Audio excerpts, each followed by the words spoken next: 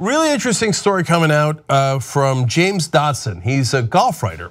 So what does this have to do with politics? Well, you'll see in a second. He's talking to NPR's Only a Game. Uh, now, he has co-written a book in the past uh, with Arnold Palmer, and he's an esteemed golf writer, having nothing to do with politics before.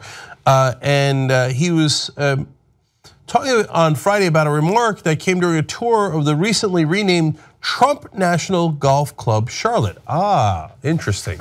So he explained that uh, three years ago in 2014, this is what happened. He said, So when I got into a cart with Eric, Eric Trump, uh, as we were setting off, I said, Eric, who's funding? I know no banks, because of the recession, the Great Recession, have touched a golf course. You know, no one's funding any kind of golf constru construction. It's dead in the water the last four or five years. And this is what he said. He said, quote, well, we don't rely on American banks. We have all the funding we need out of Russia. Hmm. I said, really? And he said, oh yeah, we've got some guys that really, really love golf. I'm sure that's why they did it. And they're really invested in our programs. We just go there all the time.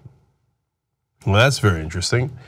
So um, this is obviously very relevant because a lot of theories revolve around how Trump had a lot of his projects financed by the Russians well before he got into the presidential race, and that perhaps he owed the Russians a lot of money, and that perhaps that could be part of the connection as to why they helped him in the race, and now that is the conclusion of our intelligence agencies and what they might have expected in return.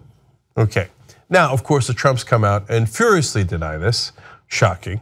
Uh, Eric Trump says, ah, a recollection from some guy three years ago through a third person. No, no, it's not through a third person. It's the guy you talked to.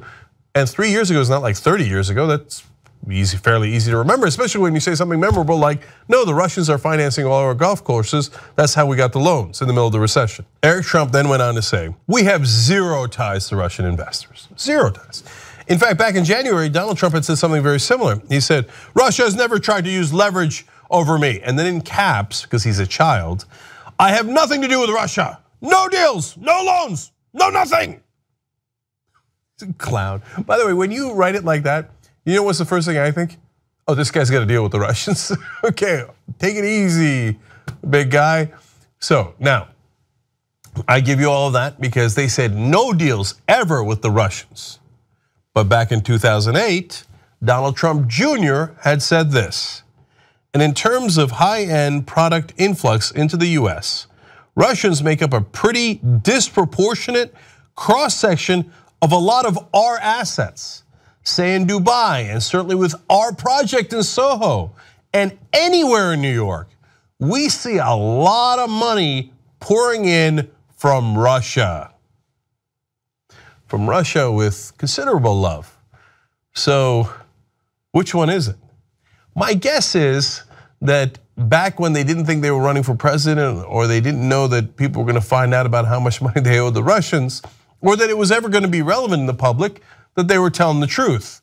Why would you make up a lie in 08 about how the, you're getting all this Russian money pouring into your assets in Soho, New York, et cetera? Why would you randomly tell a guy that works as a golf writer about, oh no, don't worry about it. All these things are funded by the Russians.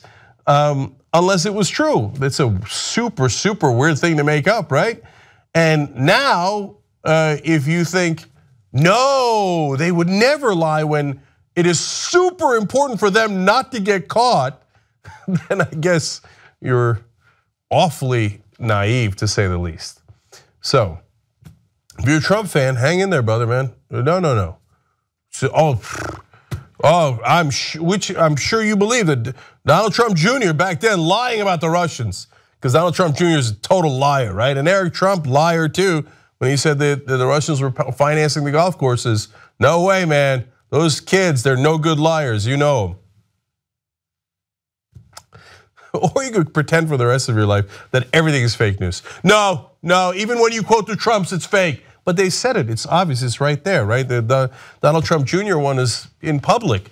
Uh, I don't know. The world is fake. Okay, good luck to you, brother.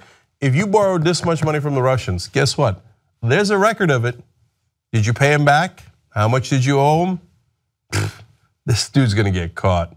Young Turks membership creates independent media. Believe me. No ads. Believe me. All the shows. Believe me. On demand. Believe me. Support independent media. Believe me. It's awesome, tremendous. You'll love it. Believe me. And by the end, you'll be thinking, you know, I'm like a smart person.